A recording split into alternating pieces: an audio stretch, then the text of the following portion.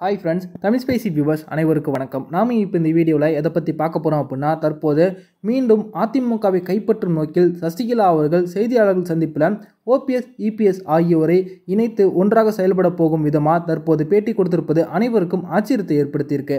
அது பற்றின முழுமையான விவரத்தை பார்ப்போம். அதிமுக பொன்விழாவை முன்னிட்டு எம்ஜிஆர் நினைவு இல்லத்தில் சசிகலா அதிமுக கொடியேற்றி மாலை அணிவித்து மரியாதை செலுத்தினாங்க. அதிமுகவை எம்ஜிஆர் துவங்கி நாற்பத்தி ஒன்பது ஆண்டுகள் நிறைவடைந்து நேற்று ஐம்பதாவது ஆண்டு துவங்கியது. இதனையொட்டி பிரம்மாண்ட மாநாடு நடத்தவும் பெரியார் அண்ணா எம்ஜிஆர் ஜெயலலிதா பெயரில் விருதுகளை வழங்கவும் அதிமுக திட்டமிடப்பட்டுள்ளது.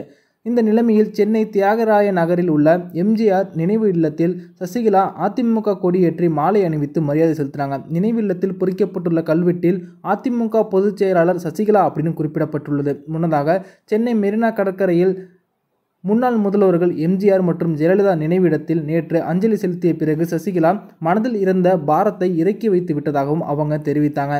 தொண்டர்களிடம் அவங்க பேசும்போது நாம் ஒற்றுமையாக இல்லாத காரணத்தினால் எதிரிகளுக்கு சாதகமான சூழ்நிலை உருவாகிவிட்டது அப்படின்னு அவங்க சொன்னாங்க.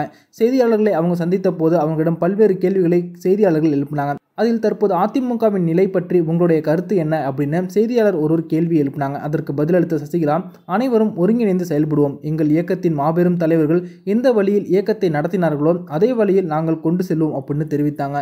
அதிமுக தற்போது தவறான வழியில் செல்வதாக நீங்கள் நினைக்கிறீர்களா அப்படின்னு செய்தியாளர்கள் கேள்வி எழுப்பினாங்க. இதற்கு பதிலளித்த சசிகலா அனைவரும் ஒன்றிணைந்து செயல்படுவோம். இது தொண்டர்களுக்கான இயக்கம். ஒரு நாடாளுமன்ற தேர்தலில் மிகப்பெரிய வெற்றியை பெறுவோம் அப்படின்னு சசிகலா அவர்கள் தெரிவிச்சிருக்காங்க. அது மட்டுமல்லாது அவங்க தொடர்ந்து பேசும்போது எனக்கு மிகவும் இக்கட்டான சூழல் உருவாகிய போதும் அதிமுகவுக்கு எந்த ஒரு ஆபத்தும் ஏற்படாமல் அதனை ஆட்சி கட்டிலில் அமர வைத்து விட்டுதான் நான் சிறைக்கே சென்றேன். இனி வரும் காலங்களில் அதிமுகவை காப்பாற்றும் விதமாக நாங்கள் அனைவரும் ஒன்றாக இணைந்து செயல்படுவோம் அப்படின்னு சசிகலா அவர்கள் பேட்டி கொடுத்துருக்காங்க. இதன் மூலமாக ஓபிஎஸ் இபிஎஸ் ஆகியோரை ஒன்றாக இணைத்து அதிமுகவை வழிநடத்தப் போவதா தற்போது அவங்க தெரிவிக்கிறாங்க. இதுதான் தற்போது தமிழக அரசியலில் அனைவருக்கும் ஆச்சரியத்தை ஏற்படுத்தியிருக்கு. இந்த வீடியோ உங்களுக்கு பிடிச்சிருந்துச்சுன்னா லைக் பண்ணுங்கள் ஷேர் பண்ணுங்கள் நன்றி.